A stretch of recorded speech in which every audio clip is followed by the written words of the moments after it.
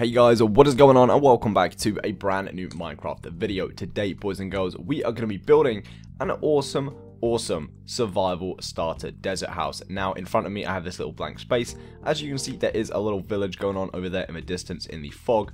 Um, and the materials I'm going to start off with are some sandstone, some spruce wood planks, some wooden trapdoors, and some spruce wood fence. So let's get into this. First, we're going to place ourselves one, two, three, and four sandstone blocks up in a pillar and bring it on the bottom. One, two, three, four, five, six, seven, eight, nine. We're now going to raise this end by three as well and join it along the top like so. What we can then do is count three blocks to the side and place a block in the middle and another one on top. Then we can go in, we can grab ourselves some sandstone stairs and place one, two, three, four, five, and six blocks just like that. We're then going to replace this block with a spruce wood plank and do exactly the same on each side. And we're going to place ourselves a wooden trapdoor on the front of that, like so. We can also grab ourselves some glass panes and place one, two, three inside each window gap. We're going to grab ourselves our sandstone once again, and on each end, we're going to place one, two, three, and 4 just like that. We're now going to grab some spruce wood stairs and place 1, 2, 3, 4, 5, 6, 7, 8, 9, 10, 11, and we're going to overhang it on each of the edges. We're now on the top of this sandstone, going to place ourselves some spruce wood fences. We're now going to grab these stone slabs. We're going to hop one block in and place 1, 2, 3, 4, 5, 6, 7, 8, and 9, leaving one block at the edge and we're going to bring this another block back. Perfect. What we can then do along the edges is place some more sandstone.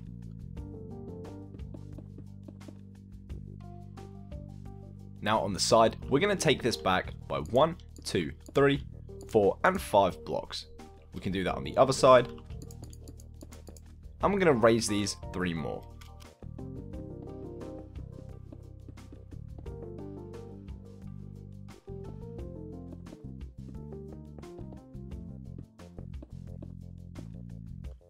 Now along the back, we can do exactly the same as we did on that side there.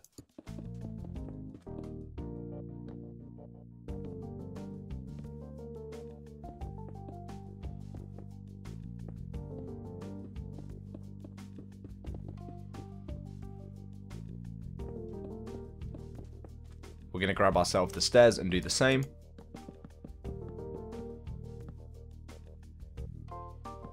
We're also going to place upside down stairs on the back ends of the normal facing stairs. We're going to go in and we're going to grab ourselves some spruce wood slabs. We're going to place them on the top. One more on either side. Another one on top. And we're going to bring it along.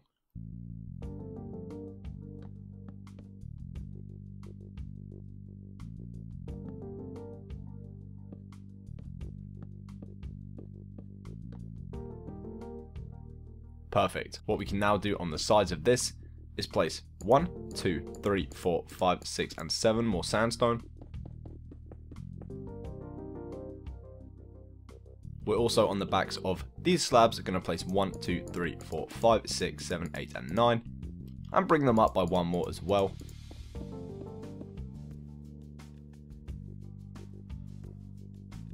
We can then count ourselves 4 blocks in. And remove a block build two around and two more, and place an upside down stair. Either side of this, we're going to place a spruce wood block, leave a gap, and place another. We can then on the end place two sandstone,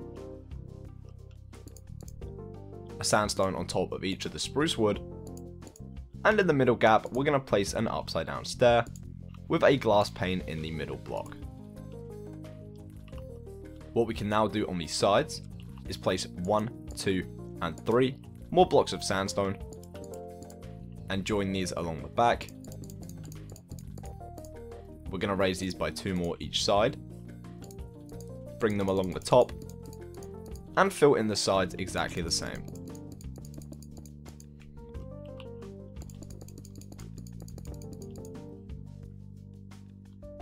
we're now going to add another layer of sandstone on top of every existing one.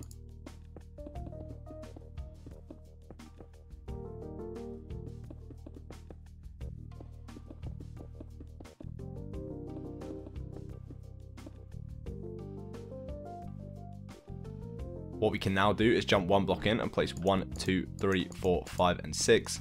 Do exactly the same here. And take it all the way up until there are 2 in the middle.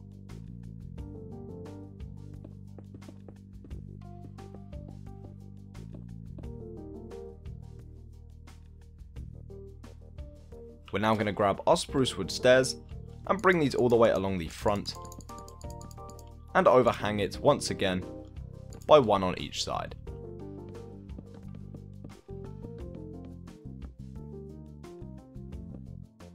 Then going to do some upside down stairs, and we're going to do some normal stairs until we reach the top center.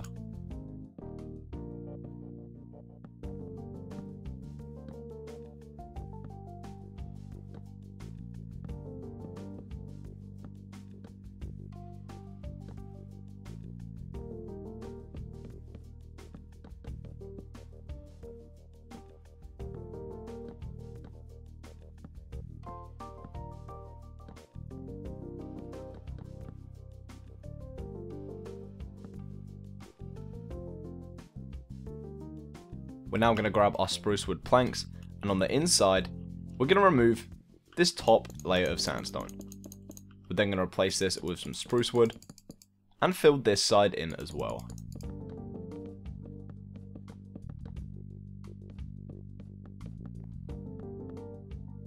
What we can now do is remove the 9 stair blocks, and place two more rows of spruce wood.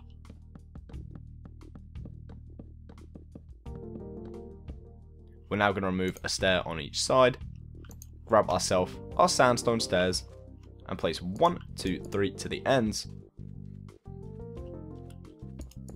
and connect them in the middle as well. We're now going to grab our spruce wood fence, and on the inside spruce block, place three until we reach the ground. We can now place one in the center block, and some trapdoors on the back.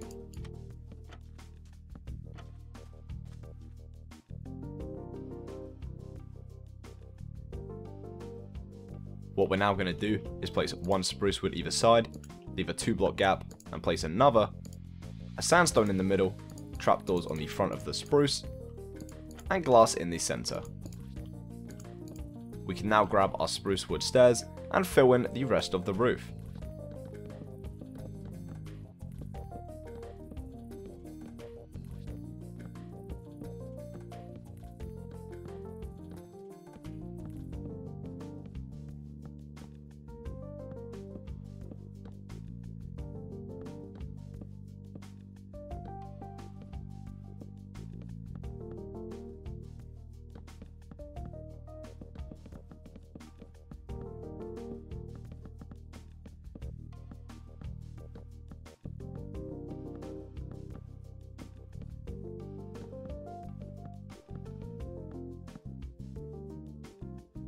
Okay, we're now going to grab ourselves an oak door and place one block in this two block gap that we left earlier. We're now going to jump to the side on the right side or the left side, whichever you prefer. Break the block three blocks in, delete that, and we're going to place ourselves a stone slab on the back of that. We're going to place ourselves a door and an upside down stair on top. On the other side, we're just going to fly around and we're going to break ourselves a 1 2 block window with some spruce wood either side. Some trapdoors on the front of them blocks and some glass in the middle with two sandstone stairs above the window. What we can also do is add 1, 2, 3 and 4 more spruce slabs and 2 on top making more of a curve in the center.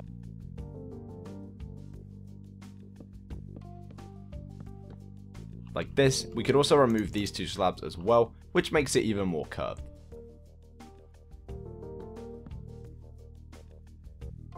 Now on the inside of the build, we're going to remove this one row of sandstone and replace it with some slabs. What we can then do is remove the entire floor And this is going to be stone slabs as well.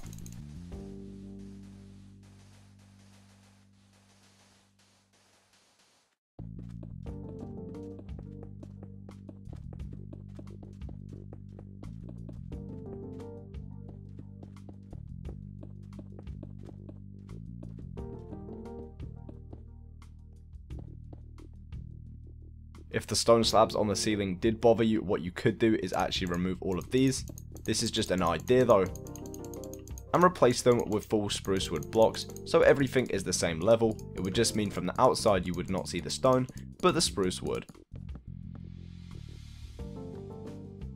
You would also need to replace the door that we broke down. Now inside on the top floor, we're just going to place some more upside down spruce wood stairs, just to make the roof look a little bit clean.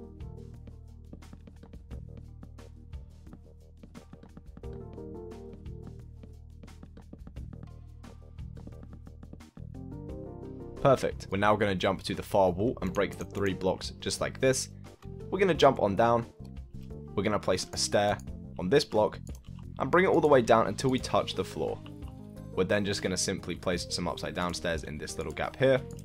And what you could do in this one, ooh, is that connecting? Just like that. And then we could place a random chest under there for a little extra storage. You could essentially even remove this one and have two chests, because I think it does look a little bit cleaner, with also a full block like so, but it is up to you. We're going to also add some lighting in the house, so on the back of all the spruce wood blocks, I'm just going to simply place some torches. On the upstairs, you could do exactly the same. This admits a lot of light inside the house, making sure nothing spawns. We could also place some torches on the outside, next to the door, and maybe around the back if you wanted to. Just like this. Now on the back of the house, we're going to grab some glass blocks, and under each of the windows, place two of them. And we're going to place ourselves some wooden trapdoors all the way around, and on the bottoms.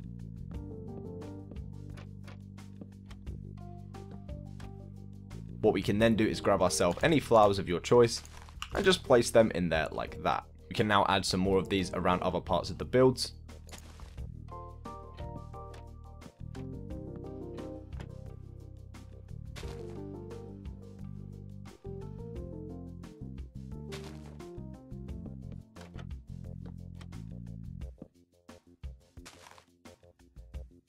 add one next to the door.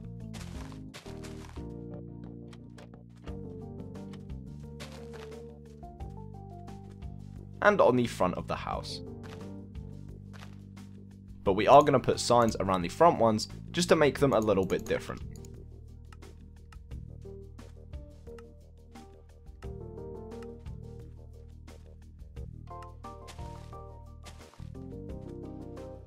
On both corners under the stairs, we're going to place three spruce wood fences.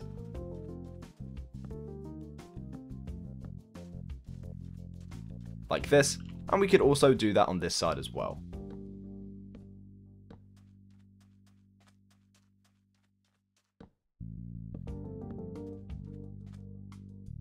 We're now going to grab ourselves some oak wood, jump to this side of the build, jump one block out, and remove a block. We're going to bring this along 1, 2, 3, 4, and 5, and 6. We're then going to fill this in with normal oak wood. We're now going to bring it out another 1, 2, 3, 4, 5, 6, and 7. And bring it all the way back round.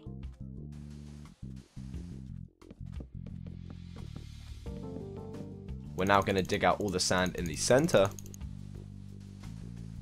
and replace this with some dirt we can then hoe all of this up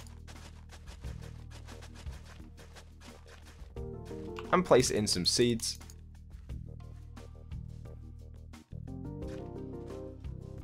What you could do for a water source is just remove the middle four blocks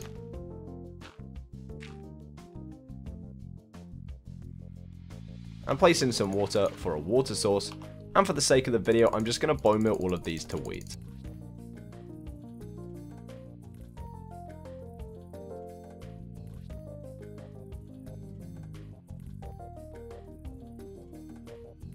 Now around the edges, we're going to grab ourselves some pressure plates and place them all the way around.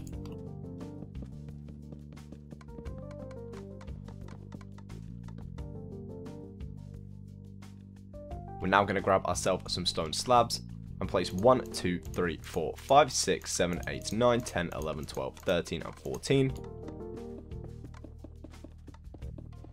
We're then going to bring out one more block and take it all the way around the build.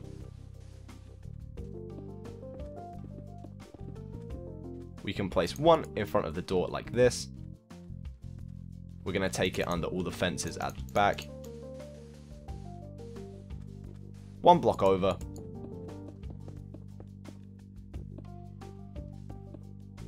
And of course, we're going to connect it around the other side.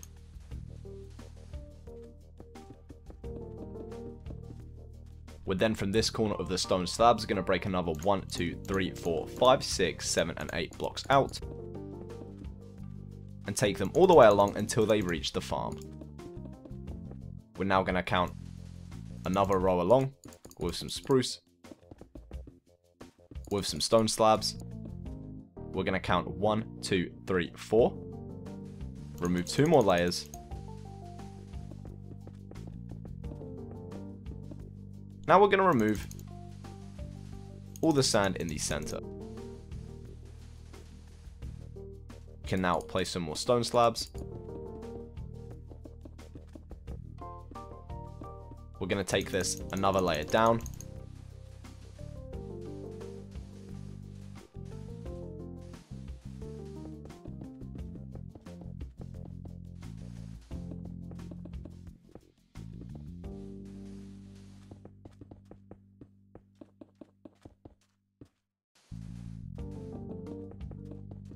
For the bottom floor, we can just fill it in with some spruce wood.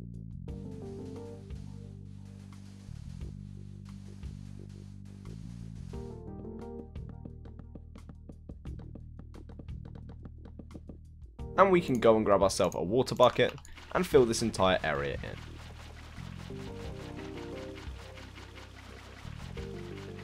Now we have an awesome little swimming pool at the front of our build. But that is it guys, that is the house complete. The Minecraft Desert Starter House. If you have enjoyed this video, make sure to smash the like button, it motivates me to make more videos. Comment down below what you'd like to see me build next, subscribe if you are new around here. I love you all so much, stay creative, and I will see you in my next video. Bye guys.